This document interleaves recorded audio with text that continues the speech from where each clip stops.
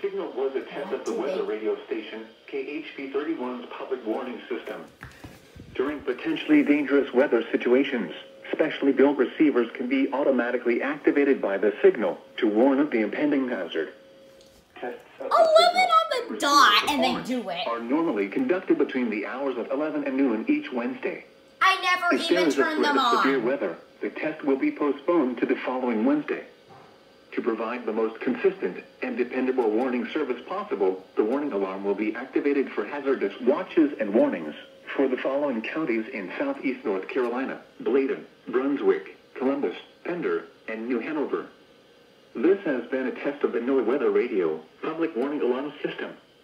We now return you to the normal program schedule. Oh yeah, my page just went off.